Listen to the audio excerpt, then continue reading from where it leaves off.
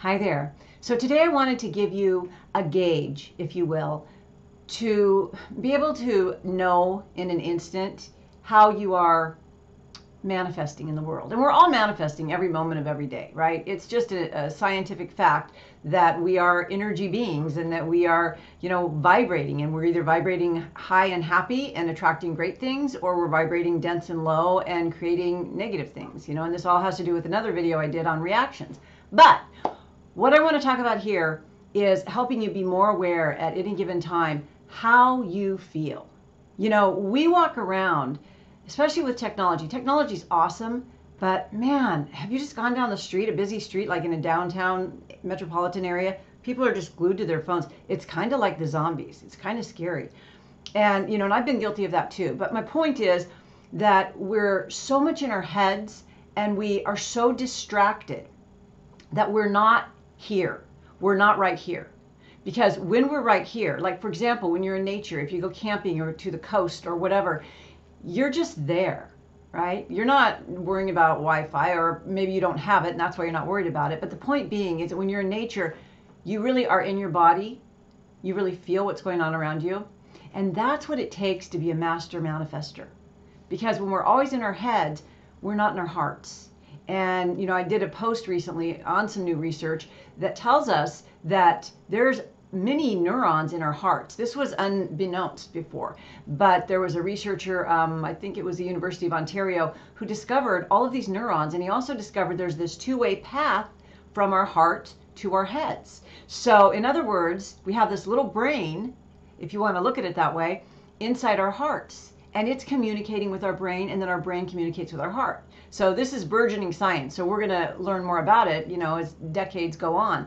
But for right now just understand that the way you feel is the absolute best gauge you have to know what you're manifesting to know how you're vibrating okay? And i and i use that term carefully because of, of you know i don't want to i don't want to be like new age how do you how's your vibes baby? I don't mean it like that but we are vibrating beings so we have to recognize that. Okay so if you just take a breath and you just pay attention to how you feel, I'm expecting you to do this with me now. Just take a breath and see how you feel. And where does your mind immediately race to? Is it, oh crap, I'm late, I gotta go. What am I gonna do? I don't have money to pay bills. You know, that's right there reactive and anxious, fearful, survival victim mode. But if you can take a deep breath, like when you're in nature, and you can feel content and gratitude and joy, your vibrations are through the roof, baby. You're you're doing the thing. That's that's all there is to it. You're doing the thing.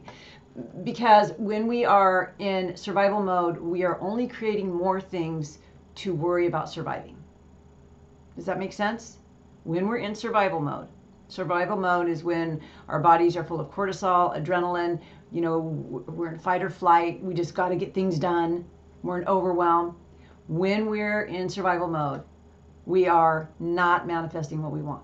And there's just no nice way to say it. You know, one of the things that I do in my coaching is we have to start from a clean slate so we can create. So we've got to go back and we've got to just determine what the negative beliefs, the self-limiting unconscious beliefs, because your unconscious belief system is really what's causing all these reactions in the first place. That's a whole other video.